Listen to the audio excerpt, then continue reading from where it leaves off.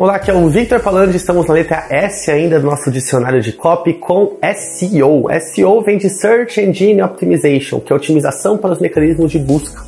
Nada mais é do que você escrever os textos, publicar num site, num blog, sempre pensando no algoritmo dos buscadores, principalmente do Google, né? Mas também do YouTube, no caso, quando a gente fala de vídeo, também é SEO. Então tudo que tem a ver com ranqueamento orgânico é SEO.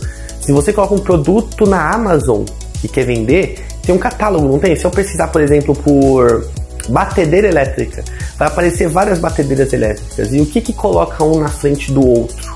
É o algoritmo. E você precisa trabalhar o SEO para que a sua opção seja, esteja na frente do seu concorrente. Então toda plataforma que tem busca tem SEO, né? E o copyright está muito ligado ao SEO porque o SEO ele vem em questão de ranqueamento, trazer mais visitas, você quer estar tá num lugar melhor no Google, você quer aparecer em primeiro na busca do YouTube, mas sem um texto persuasivo por trás, você acaba tendo visitas e não transformando essas visitas em dinheiro, não transformando essas visitas em leads, essas visitas em ligação para sua empresa, em contato no WhatsApp. Então só SEO hoje em dia não é mais suficiente, porque a gente vive uma, uma, uma concorrência muito forte e o copyright ele faz com que o seu produto ele se diferencie, o seu artigo de blog seja diferente dos outros.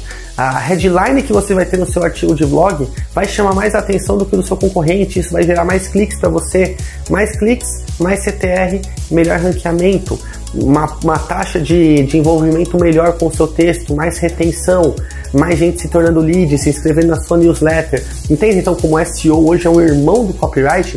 Os dois eles precisam coexistir para que não, se, não tenha apenas o melhor posicionamento, mas você também consiga gerar dinheiro com esse posicionamento. Beleza? Então bora trabalhar no SEO e no copywriting dos seus vídeos, dos seus textos, é, para que assim você consiga colocar mais grana no bolso. Um forte abraço e até o próximo vídeo.